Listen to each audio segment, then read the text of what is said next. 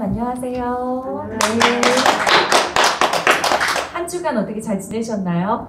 네, 그 어, 시기가 엄중하긴 하지만 요즘에 그 가을 바람과 하늘이 너무 좋잖아요.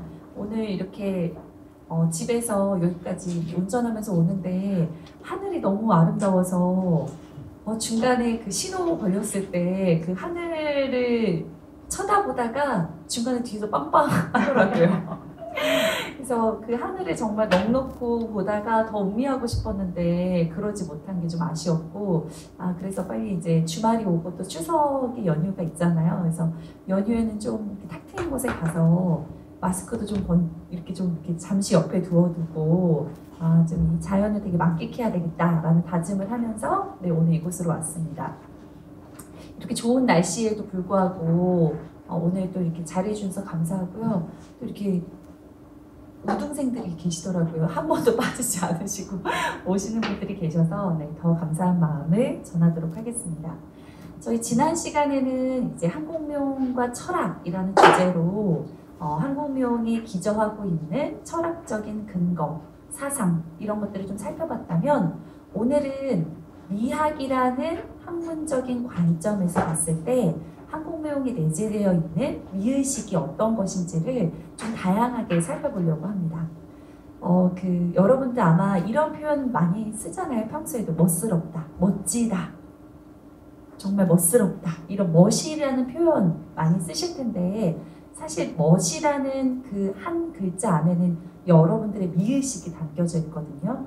각자 멋을 느끼는 포인트들이 다르겠지만, 우리 한국인들이 공통적으로 가지고 있는 정말 멋스럽다고 생각하는 그 공통되는 지점들이 좀 있다고 합니다. 그래서 오늘은 한국인들이 가지는 미의식, 아름답다고 느끼는, 멋지다라고 느끼는 그 지점들이 어딘지를 좀 살펴보고, 그리고 특별히 한국명에서 그 어떠한 미의식들을 보여주고 있는지, 한국명을 봤을 때 정말 좋다, 아름답다, 멋지다, 라고 우리가 느끼는 그 포인트들이 뭔지를 몇 가지의 미로 좀 나눠서 살펴보도록 하겠습니다.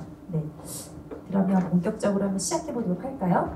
오늘 제목이 어, 한국명의 미학을 음미하다입니다.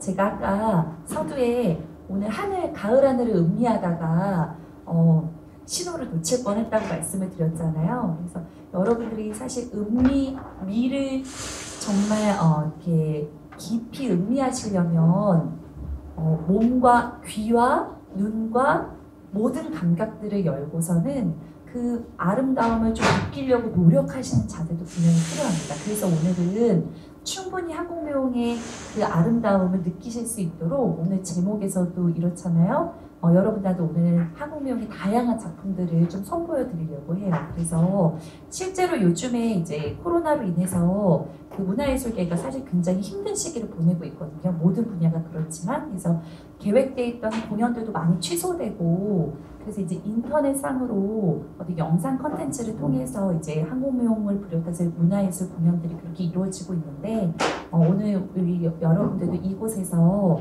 공연장에 직접 가지는 못하지만 생생하게 그 공연장의 어떤 숨결을 담아낸 멋진 한국 춤의 여러 어, 그 작품들을 좀 소개해드리려고 합니다. 그래서 오늘은 정말 아까도 말씀드렸듯이 오감을 열고 눈과 귀와 그다음에 심지어 여러분들의 그 뭐죠? 어, 후각까지는 필요하진 않겠지만 내 온몸에 있는 여러 가지 감각들을 열고 한국무용이 도대체 어떠한 아름다움을 우리에게 선사하는지 그런 것들을 온몸으로 만끽하시는 그런 두 시간을 가지려고 합니다. 네.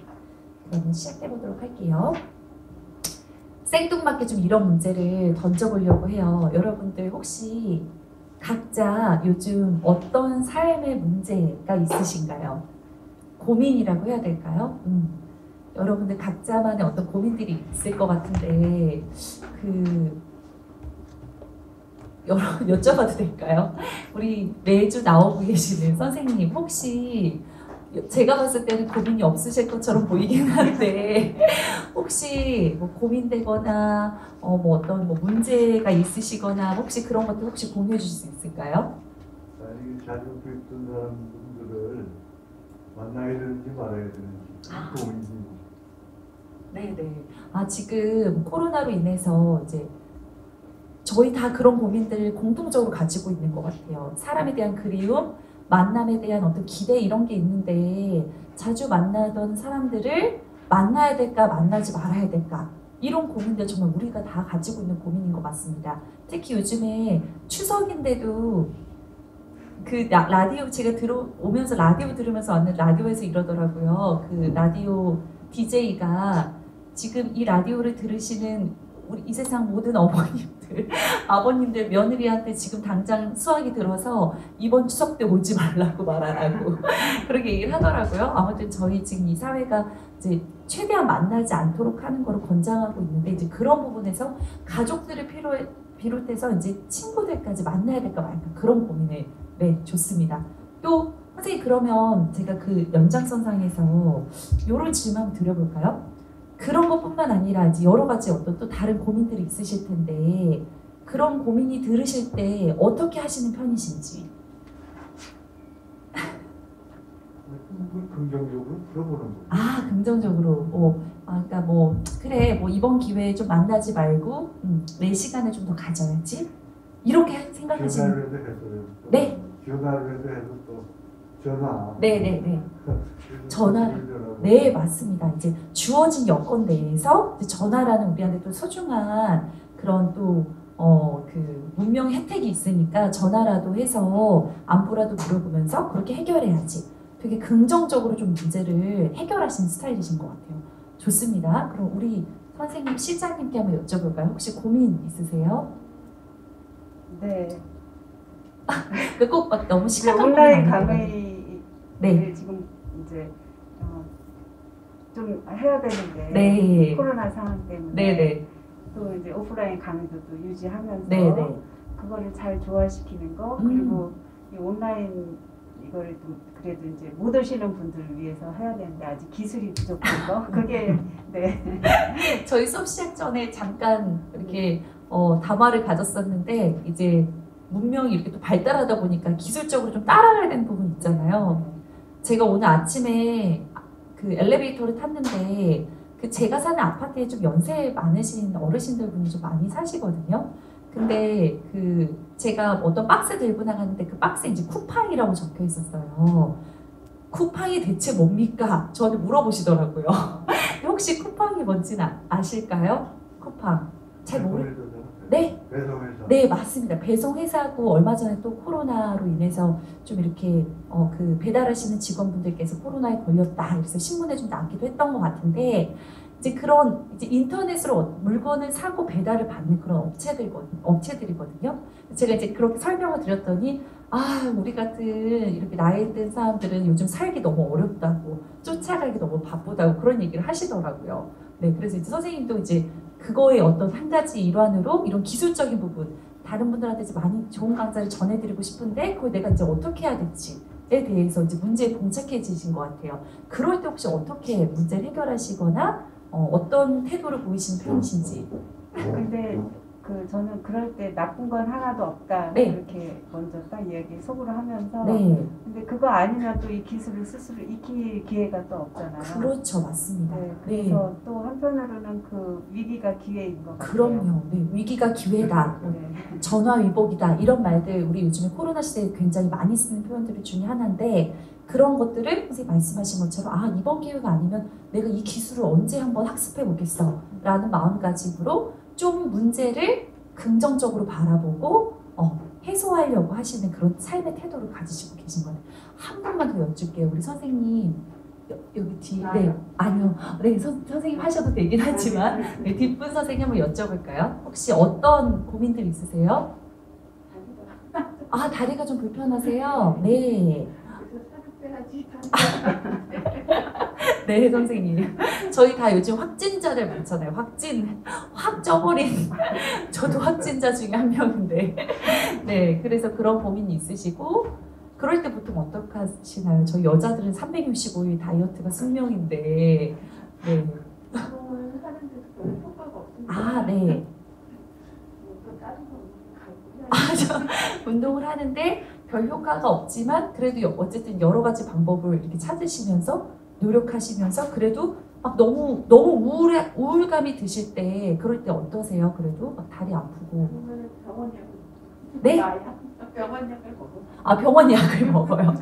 병원 약을 먹기도 하고 막 저도 가끔 제 몸이 조금 무거워져서 되게 답답하고 우울할 때가 있지만 너무 그 감정이 오랫동안 머무르지 않으려고 저도 좀 노력하는 편이거든요. 그래서 빨리 또 내 감정을 딱 직시하고 아 내가 너무 지금 다운돼 있구나. 빨리 좀 더 끌어올려야지 이렇게 하는 어떤 태도를 가지고 있는데 제가 어, 우리나라의 어떤 그 우리 한국인이라고 하면 어떤 삶의 문제를 봉착했 삶의 문제에 봉착했을 때 어, 그런 문제를 해결하는 여러 가지 태도들이 있겠죠. 그런데 저희 한국 사람들이 한국인들이 주로 문제에 봉착했을 때 이러한 세 가지의 태도를 많이 보인다 보이는 것 같습니다. 우선 첫 번째로 어, 무념무상이라고 해서 일체의 고민들을 떨쳐버리고 생각하지 않으려는 태도, 마음을 비우려고 하는 태도. 어, 내가 지금 이런 어, 기술 빨리 배워야 되는데 유튜브에 빨리 올려야 되는데 이건 저렇게 해야 되는데 여러 가지 고민을 했었을 때 잠깐 그 고민을 내려두는 거. 잠깐 그 고민으로부터 나의 생각을 떨쳐버리고 어, 마음이 텅 비어 있는 상태를 유지하려고 하는 거. 그게 이제 첫 번째 태도인 것 같고요. 그 다음 두 번째는 아까 제가 잠깐 말씀드렸듯이 어, 이게 저는 아직 내공이 덜 쌓여서 그러는지 제가 마흔을 앞두고 있는데 마흔은 마흔이 되면 사실 부록의 나이라고 하잖아요. 제가 한번 생각해봤어요. 제가 내년에 마흔입니다, 선생님. 내년에 마흔인데 아 내가 지금 미혹한 것으로부터 완전하게 자유로운가? 제 자신을 한번 이렇게 좀 반성을 해봤더니 아직은 그러지는 못한 것 같아요. 그러다 보니까 여러 가지 아침에 딱 눈을 뜨면 여러 가지 고민들과 잡념들에 되게 휩싸이는 편인데 그럴 때 제가 저한테 이렇게 아까도 말씀드렸죠. 어떤 고민들로부터 좀 우울해지거나 기분이 안 좋아지고 이런 감정들이 생기잖아요. 그럴 때 그 감정을 좀 이렇게 들여다 볼 수 있게 되는 나이가 된 것 같아요. 그래서 최대한 그 감정에 너무 치우치지 않도록 또 너무 좋은 일이 있을 때 너무 기뻐하거나 너무 슬픈 일이 있을 때 그 감정에 너무 몰두해지지 않도록 좀 중간적인 감정을 찾으려고 노력하는 어떤 태도. 그래서 제가 삶에서 좀 많이 추구하려는 태도가 중도의 어떤 마음가짐인 것 같습니다. 네. 그리고 세 번째는 우리 아까 선생님께서 말씀해 주셨던 거고 저도 되게 선생님처럼 되고 싶은데 긍정적으로 뭔가를 해석하려는 태도이죠. 그렇죠? 그래서 아까 말씀하신 것처럼 지금 코로나로 인해서 사람들을 만나지 못하거나 우리 실장님께서 말씀해 주셨듯이 이렇게 기술을 어쩔 수 없이 학습해야 되는 그런 어떤 문제에 봉착했을 때 그거를 너무 부정적으로만 생각하지 않고 긍정적으로 아 이런 기회가 없으면 내가 언제 이런 걸 배워보지? 혹은 아 이런 기회가 없으면 언제 나만의 시간을 갖지? 친구들을 만나서 이야기를 나누고 어떤 활동들을 하는 것도 좋지만 나를 좀 되돌아보고 나만의 시간을 갖고 혹은 옆에 가까이 있는 가족들하고 시간을 가질 수 있는 기회가 어 코로나가 아니면은 어떠, 언제 이럴 수 있지? 라고 좀 더 이 문제를 바꾸어서 해석해서 긍정적으로 그 문제를 낙천적으로 해결하려고 하는 그런 태도 이런 태도들을 우리 한국인들이 보여준다고 합니다. 그래서 그 도대체 그러면 한국 한국 무용과 한국 문화와 미, 한국 문화에서 말하는 미와 도대체 이- 제가 지금 말씀드리려는 이 삶의 문제와 무슨 관계가 있을까라는 생각이 드시겠죠. 네, 바로 이렇습니다. 무념무상이라는 마음은 어떻게 보면은 우리 문화에서 여백의 미라는 형태로 나타나고 있습니다. 그리고 중도의 감정은 감정을 너무 극단적인 감정으로 치우치지 않는 절제의 미라든지요. 너무 극단으로 가지 않으면서 그게 곡선을 유지하게 되는 곡선의 아름다움으로 나타나고 있어요. 그리고 마지막으로 아까 보여주 말씀해 주셨던 총월의 태도는 우리 문화에서 굉장히 자유분방한 아름다움이라든지 해양미, 풍자미와 같이 낙천적이고 긍정적인 삶의 태도가 미의 형태로 이렇게 나타나고 있습니다. 그래서 우리 문화라고 하는 것은 삶을 마주하는 우리 한국인들의 마음 상태가 어떤 미적인 형태로 나타내는 것, 그 자체가 바로 한국 문화이죠. 그래서 한국 문화는 겉으로 드러나는 형태의 미보다 그 안에 내재되어 있는 정신이라고 할까요? 삶의 태도, 이런 것을 음미하셨을 때 훨씬 그 문화를 어, 깊이 이해하실 수도 있고 더 풍부하게 음미하실 수가 있게 됩니다. 네, 그래서 이 아름 그 한국의 문화에는 지금 아래 보이는 것처럼 한국 춤뿐만이 아니라 도자기라든지 그림이라든지 한옥이라든지 이런 한국 문화 전반에 바로 이러한 미의식이 고스란히 담겨져 있다고 할 수가 있죠. 네, 그래서 이러한 관점에서 오늘 한국 춤에 대해 미학을 다시 한번 이해해 보시면 좋을 것 같다는 생각이 들었습니다. 그렇다면 이제 한국의 미란 어떤 것일까에 대해서 얘기하기 전에 어, 오늘 그 어, 주제가 한국 미용과 미학이라는 학문적인 관점에서 출발을 했잖아요. 혹시 미학이라는 말 많이 들어보셨죠? 그 진중권 씨의 여러 가지 책들도 굉장히 유명하고요. 미학자로서 가장 유명한 학자이시기도 한데요. 미학이라는 말은 어떤 말이냐? 사실 되게 어려워요. 철학적인 백그라운드를 가지고 있어서 좀 어렵지만 자연이라든지 인간, 예술에 담겨져 있는 미의 본질을과 구조를 탐구하는 학문이 바로 미학이라고 합니다. 우리 인생에서 이런 인생 정말 멋지다. 자연에서 정말 저 자연의 저런 모습 아름답다. 그 다음에 예술에서 이런 모습 정말 멋지다. 라고 생각할 때 우리가 멋이라고 하는 그 부분, 아름답다라고 하는 그 지점들이 도대체 왜 아름다우고 왜 아름답고 뭘 아름답다고 생각하는지에 대해서 그 미의 본질을 탐구하는 학문이 바로 미학이라고 합니다. 그리고 이 미는 다시 말해서 오감으로 느껴지는 쾌감이라고도 얘기를 하는데요. 여러분들이 그래서 제가 오늘 서두에 오감을 쫙 여셔야만 어, 한국 미용의 아름다움을 감지할 수 있다고 말씀을 드렸잖아요. 그래서 오감이라고 하면 여기 보시는 것처럼 눈, 가장 시각적인 어떤 쾌감 이 굉장히 중요한 우리의 그 미를 느낄 수 있는 통로이기도 한데 그것뿐만이 아니라 귀, 그쵸? 눈과 귀를 여는 것이 가장 중요하고요. 그 다음에 무용에는 해당되지는 않겠지만 우리가 어떤 것을 느끼려고 할 때 통로가 또 되는 것이 코, 그래서 어떤 향, 그래서 여기 적혀 있죠. 후각, 그 다음에 촉각, 입으로 느껴지는 미각, 이런 감각으로 느낄 수 있는, 오감으로 느껴질 수 있는 쾌감을 우리가 미학에서 말하는 미라고 합니다. 그래서 어, 그 무용은 이 중에서 시각적이고 청각적인 쾌감을 공략하는 예술이라고 보실 수가 있겠어요. 왜요? 무용이라는 건 우리가 눈으로 움직임을 감각하게 됩니다. 그쵸? 그러면서 청각적인 자극까지 주는 건 왜냐하면 무용은 항상 음악과 함께해요. 그쵸? 특히 우리 한국 무용 같은 경우는 전통예술 같은 경우는 국악이라는 우리나라의 어떤 한국 음악을 함께 항상 수반하는 것이 특징적입니다. 물론 현대 현대 예술에 와서는 무, 무용이요 음악이 없이 이루어지는 경우도 있어요. 무음악에 아무런 음악이 없이 네 춤을 추어지는 경우도 있지만 대부분의 무용의 경우에는 이런 시각적이고 청각적인 자극과 쾌감을 동시에 전개한다는 점에서 다른 예술보다 강력한 미적인 쾌감을 일으킨다고 합니다. 한번 상대적으로 생각해 볼까요? 어, 제가 정말 그 좋아하는 예술이 사실 음악이기도 한데요. 음악도 정말 강력한 쾌감을 주잖아요. 근데 음악은 귀를 통한 청각적인 자극에 초점을 둔 예술입니다. 그렇지만 무용은 플러스 알파, 음악적인 것과 시각적인 감각을 함께 주기 때문에 우리에게 되게 강력한 어떤 감동을 주는 경우가 굉장히 많습니다.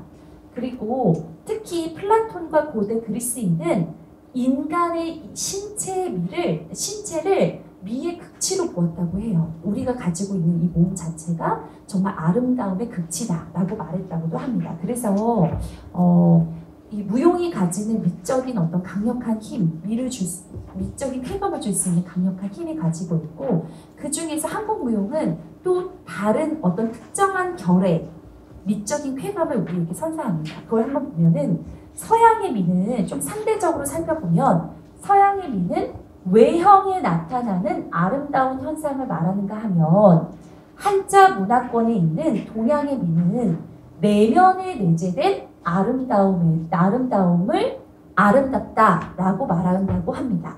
다시 말해서 서양의 아름다움은 외적으로 드러나 어떤 형태적인 아름다움에서 아름다움을 찾는가 하면 우리 한국을 비롯한 한자 문화권의 동양권에서는 겉으로 드러나는 아름다움도 물론 형태적으로 느껴지는 아름다움도 되게 중요하지만 그 안에 내재되어 있는 정신적인 아름다움을 강력하게 추구한다는 특징을 가지고 있습니다. 그래서 어떠한 경향성을 가지냐 이 내재되는 내면의 아름다움은 선, 도의 개념과 동일시하는 경향을 보이고 있습니다. 그래서 옆에 보시면 미와 선이 일치되는 사상, 미선 일치 사상을 동양 문화권에서는 굉장히 추구해요. 왜요? 내적인 아름다움을 추구하다 보니까 그 내적인 아름다움이라는 건 뭐죠? 인격의 아름다움, 인격미를 말하는 겁니다. 그럼 우리가 인격에서 아름다움을 느낄 때는 언제죠? 인격이 완성이 되는 모습을 봤을 때, 훌륭한 인격의 어떤 그 도에 도달했을 때, 우리가 그 아름다움, 굉장히 그분의 어떤 그 인격을 아름답다고 말하고, 그 아름다움이 어떤 신체의, 신체의 무용이라는 형태를 통해서든 그림, 서예, 이런 어떤 문화의 어떤 형태로 드러났을 때, 굉장히 그 작품을 아름답다고 말해요. 그래서 우리 동양권에서는 미와 도를 미와 선을 동일시하는 그런 경향성을 보이고 있습니다. 이거는 그 중국의 문서에서도 이런 미와 도를 동일시하는 그런 표현들이 등장을 하고 있는데요. 설문해자라고 해서 중국의 그 한자에 대한 어, 그 어원과 풀이 의미를 설명해 놓은 그 고서에서 보면은 미여선동이라고 해서 미와 선을 동일시하는 사상이 중국 문화권에서도 드러난다는 것을 어, 알 수가 있습니다. 그것뿐만이 아니라 회남자라고 해서 중국의 철학을 어, 그 철학과 사상에 대해서 집필한 책에서도 보면요 미선야라고 해서 미와 선을 동일시하는 이런 우리 동양 동, 그 문, 한, 한자 문화권의 동양의 아름다움에서는 이런 선과 미를 굉장히 동일시하는 경향성을 확인할 수가 있죠. 우리 민족은 그래서 아까도 말씀드렸지만 형태미도 되게 중요하지만 다시 한번 말씀드리자면 정신의 미, 마음의 상태 를 굉장히 미의 중요한 요소로 보았다고 합니다. 어, 그 황호근이라고 황호근이라는 한국의 미라는 어, 저서를 집필한 어, 그 분의 책에서 보면요, 한국의 아름다움은 이렇게 네 가지로 구분될 수 있다고 해요. 보시는 것처럼 맵시라고 하는 형태의 미, 그 다음에 멋이라고 하는 정신미, 그 다음에 결이라고 표현되는 표현미, 그리고 때깔이라고 표현하는 구성미. 이렇게 네 가지로 한국의 미를 가 구성되어 있지 않을까라고 언급한 부분이 굉장히 재미있어서 어, 가지고 와봤고요. 그 중에서도 어, 우리 한국의 미에서는 정신의 미를 가장 강력하게 추구한다라고 말할 수가 있겠습니다. 그렇다면 이런 한국의 미를 바탕으로 해서 한국 무용은 도대체 어떠한 아름다움을 드러내고 있는지를 한번 살펴보도록 하겠습니다. 그 제가 지난 시간에도 그런 얘기 말씀드렸는데 한국 무용을 이제 보러 온 저의 지인이라든지 공연장을 방문한 어, 여러 그 관객분들이 하시는 말 중에 어, 가장 뭐랄까요 손쉽게 들을 수 있는 제가 쉽게 들을 수 있는 말이 아, 한국 무용은 좀 지루하다. 형태적으로 뭔가를 막 다이나믹하게 발레나 현대무용처럼 다리를 여기까지 차고 정말 사람이 점프할 수 없을 만큼의 높이로 점프하고 이런 것도 아닌데 뭘 봐야 되나요? 이런 말씀을 많이 해주시거든요. 근데 여러분들이 제가 아까 말씀드렸듯이 그런 형태의 미의 관점에서만 보면 한국무용이 지루하고 다이나믹하지 않을 수밖에 없습니다. 왜냐하면 한국의 아름다움은 바로 그 안에 담겨져 있는 내면의 미를 추구하는 예술이기 때문이에요. 그래서 제가 그렇게 저한테 질문하시는 분들께는 그 동작 안에 담겨 있는 춤추는 사람의 마음의 상태를 봐달라고 말씀을 드리거든요.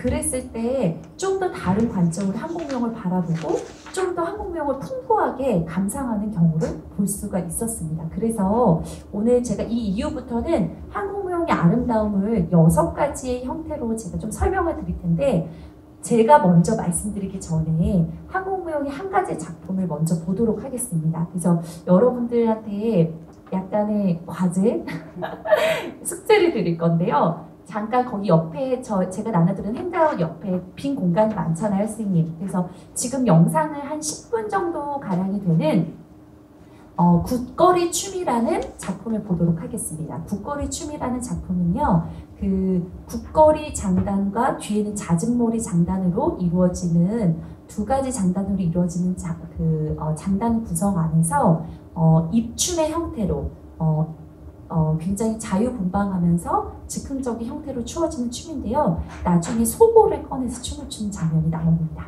네. 그래서 이런 국거리 춤이라는 우리 전통 작품을 보실 텐데 요거 보실 때 음, 옆에다가 빈 공간에 선생님들이 떠오르시는 단어 세 개를 적을게요. 네. 근데 그 세 개가 어, 떠한 느껴지시는 어떤 아름다움의 단어를 적으셔도 되고요. 꼭 그렇지 않더라도 여러분들 머릿속에 떠오르는 어떤 생각, 감정 이런 것들을 몇 개의 단어로 한 세 개에서 다섯 개 정도의 떠오르는 단어를 아주 자유롭게 옆에 적어보시면 좋겠습니다. 아시겠죠? 네, 그래서 그걸 감상하시고 난 다음에 그 다음에 다섯 여섯 가지의 한국 무용의 아름다움에 대해서 살펴보도록 하겠습니다.